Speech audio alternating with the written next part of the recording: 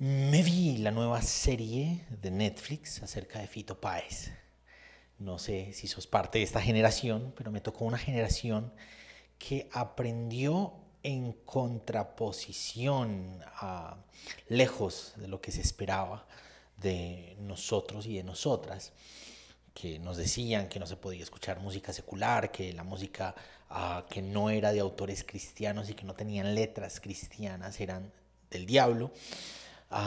que nos decían que cualquier acercamiento a cosas del mundo nos iban a llevar al infierno.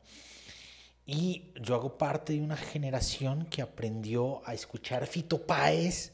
y a orar con Fito Páez, a desarrollar una espiritualidad cercana de lo divino, no distante de lo divino, pero con símbolos, con música, con elementos que nos dijeron que en realidad estaban distantes de Dios. Y viendo la serie, ah, me puse a reflexionar un montón de cosas, me puso muy melancólico,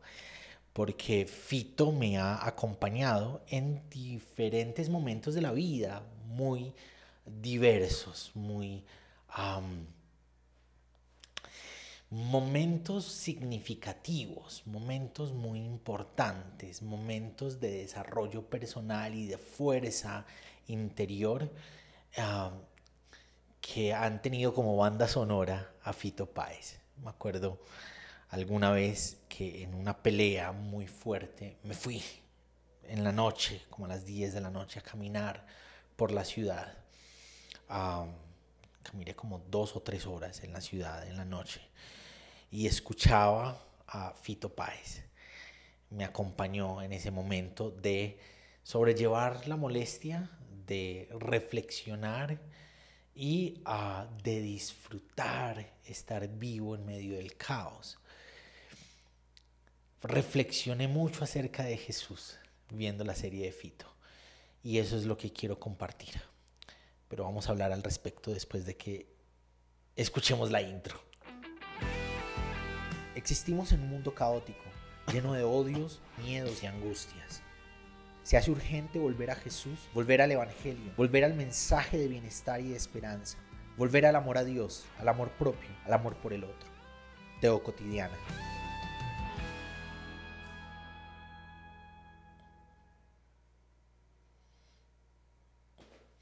Una de las cosas interesantes que me parecieron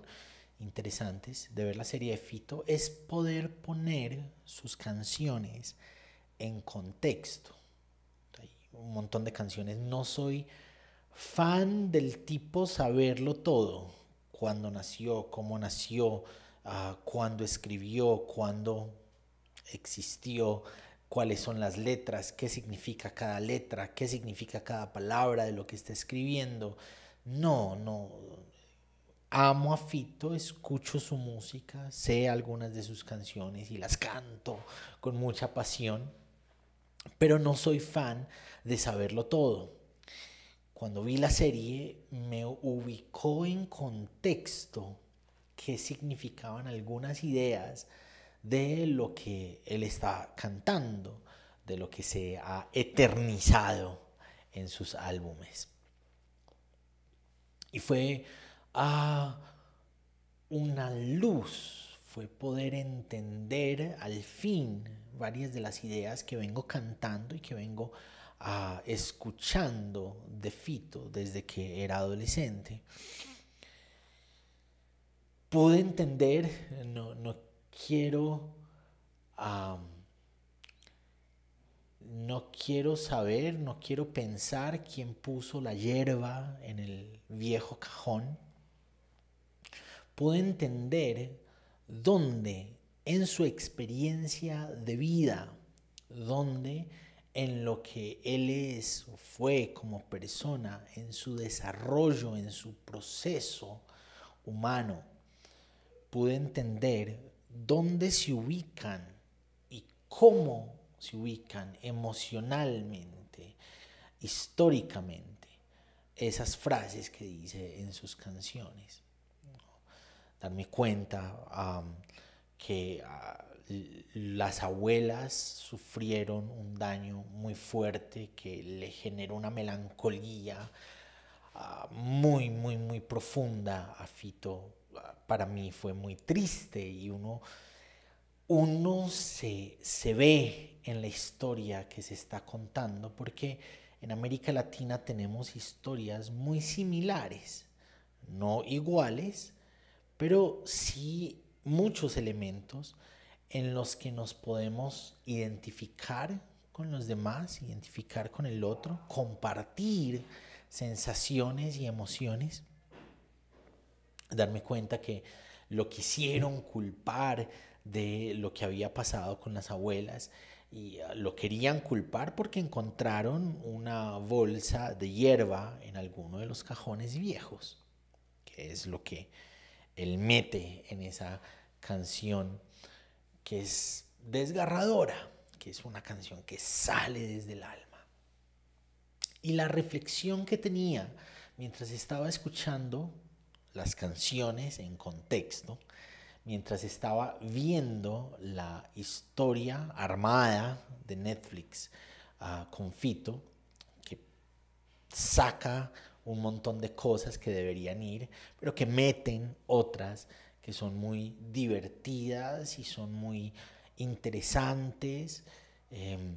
cuando Charlie García, sentado con él en un momento de mucha tristeza, lo hace totear de la risa con una película.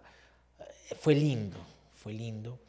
Y la reflexión en especial fue esa, la posibilidad de entender sus ideas, de entender sus letras, de entender su música, de entender lo que él quiere expresar a través de lo que canta y compone en contexto, en sus experiencias particulares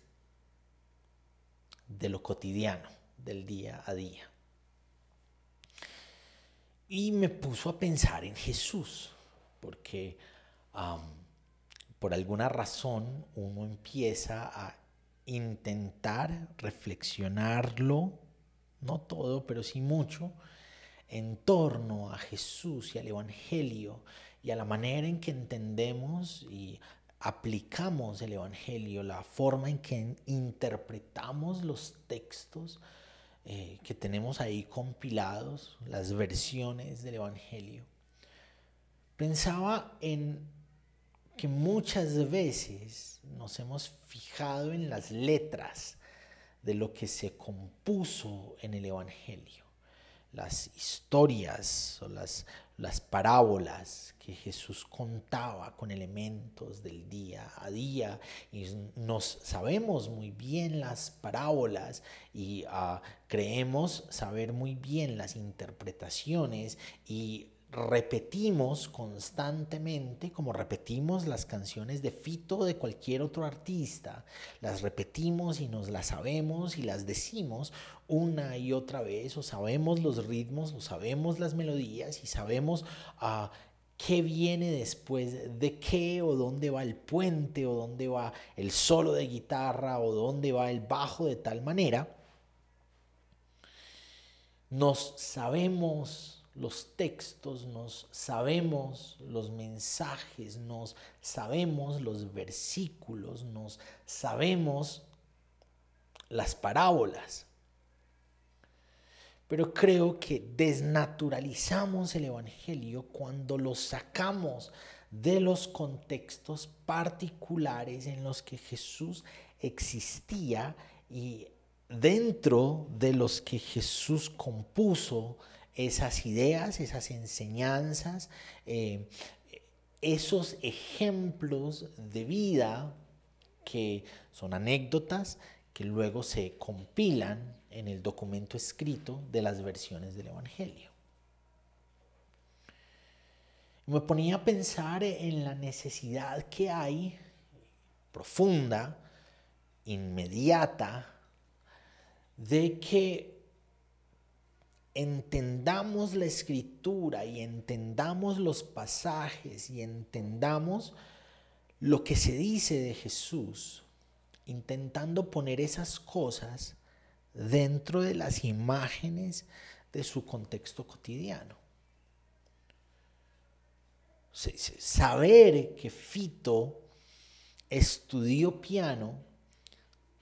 durante X cantidad de años, saber que lo que sabía de piano lo echó su profesor porque no leía bien para él eh, las partituras, no leía bien la música, quiso poner eso en el rock and roll en los ochentas, en la dictadura militar eh, en Argentina, saber ah, que su mamá se murió y que eso le generó melancolías y que ah, su papá hizo lo posible por acompañarlo y por estar con él. Esos procesos de vida son los que le dan sentido a las letras y a la música y a la emoción que esas letras y esa música quieren exponer. Saber los contextos en que vivió Jesús, saber cómo creció, saber cuáles fueron sus experiencias de vida, qué le generó alegrías y qué le generó tristezas, qué le generaba miedo. Intentar entender eso que Jesús expresa dentro de un contexto, dentro de sus vivencias cotidianas, dentro de lo que vive un obrero del día a día en el primer siglo de una Israel ocupada por el imperio romano que está sufriendo devastación, que está sufriendo de muertes y de pobrezas y de enfermedades y a una gente que necesita profundamente la, esperanza de lo divino, pero que el templo no sacia esa esperanza porque para acceder al templo y a sus rituales hay que pagar con, eh, con, plata, que pagar con dinero que la gente no tiene. Una época de rechazos, una época de segregación, una época de señalamiento, una época de ah, ustedes no son dignos de Dios y nosotros sí, ustedes los enfermos, ustedes los pobres, ustedes los pecadores, ustedes no son dignos de Dios, los extranjeros, ustedes ah, los que creen de una forma diferente y han mezclado la raza volviéndola impura, los samaritanos, ustedes un montón de ustedes diferentes que no son ah, bienvenidos, bienvenidas dentro de toda esa estructura. ¿Cómo son las vivencias de un Jesús del primer siglo en Israel? Y es ahí donde cobra sentido sus mensajes, sus parábolas, sus ejemplos, sus decisiones de vida. Es cuando aprendemos a mirar a Jesús caminando de aldea en aldea con pies empolvados, resecos, con ah, el sol en la cara, muy seguramente, o intentando protegerse la piel del sol. Un Jesús que trabaja día a día con mucha fuerza y con mucha fe de que Dios le dé el pan de cada día en medio de lo que está haciendo, también sabiendo que es posible que hayan días en que no haya pan. Es aprendiendo a caminar con Jesús, a mirarlo en su contexto, a sentir lo que está sintiendo, hambre, sed, dolor, necesidad. Notar el dolor de los demás y, sentir ese dolor en las entrañas, querer hacer algo en aras de aportar en la libertad y en la esperanza de las personas. Cuando aprendemos a mirar a Jesús, a entrar en sus realidades, es que cobra sentido esos textos, esos pasajes, esas ideas, esas parábolas, esos ejemplos del día a día que nos sabemos de memoria y que desnaturalizamos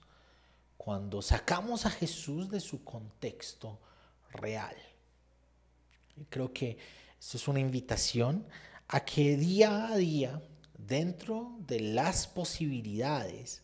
podamos ir a Jesús, podamos conocer sus contextos de vida que son a, las, a los que eh, los contextos a los que alude eh, el Evangelio, las versiones del Evangelio son a los que alude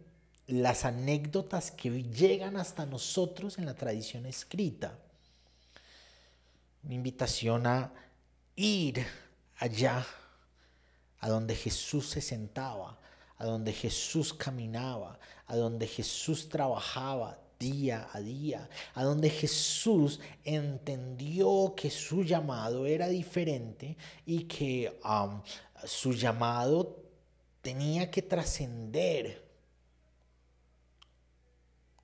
la normalidad de su vida para dedicarse a entregarse al servicio por el otro, por los demás, por el enfermo y la enferma, por los pecadores, por las pecadoras por quienes no tenían esperanza y brindarles la esperanza de que Dios es cercano y asequible, que Dios no está distante, lejos, sino aquí queriendo sanar en medio del dolor, queriendo abrazar en medio de la soledad. Entendemos a Fito Páez entendiendo su contexto de vida. Entendemos sus letras y su música y las sensaciones que a través de esa música se quiere exteriorizar. Entendemos a Jesús, las ideas de Jesús, los mensajes de Jesús, el ejemplo, las decisiones de Jesús. Cuando nos adentramos en los contextos en que Jesús vivió lo que vivió para que al fin compusiera lo que componía, para enseñarnos más acerca de lo eterno, del cielo, de Dios que se nos ha acercado, de el abrazo de Dios que nos alcanza en medio de nuestras necesidades cotidianas.